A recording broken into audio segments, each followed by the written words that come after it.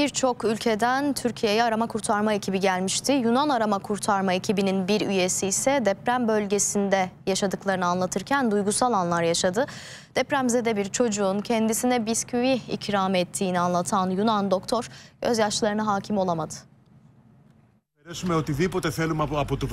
Yıkıntıların arasında günlerce yaşam aradılar. Enkazdan can kurtarmak için hiç korkmadan en riskli yerlere girdiler.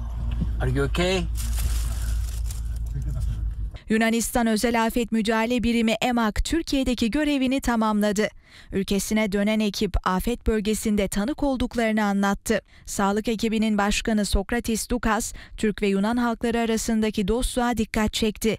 Nereye gidersek gidelim Yunan olduğumuzu söyleyince bize herkes kucak açtı dedi. Dukas kendisini en çok etkileyen anı anlatırken gözyaşlarına hakim olamadı.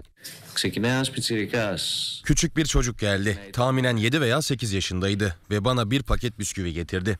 Belki bu çok basit bir şeymiş gibi görünebilir. Ancak benim için o kadar anlamlı ve değerliydi ki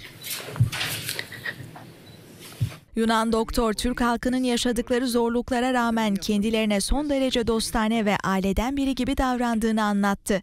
Dokunaklı sözleri sosyal medyada defalarca kez paylaşıldı. Yunan ekibin zorlu kurtarma operasyonlarından yeni görüntüler de paylaşıldı. Videoların birinde küçük bir çocuğu enkazdan çıkarmak için verilen mücadele kameraya yansıyor. Yunan ekip karşılarına çıkan sorunu nasıl çözeceklerini tartışırken çocuğu sakinleştirmek için iletişimi bir an olsun kesmiyor. Habir! We are coming Habir! Don't worry! Yunanistan arama kurtarma ekibi Türkiye'de deneyimlediklerini hiçbir zaman unutamayacaklarını söylüyor ve komşular arasında böylesi dayanışmaların önemini vurguluyor.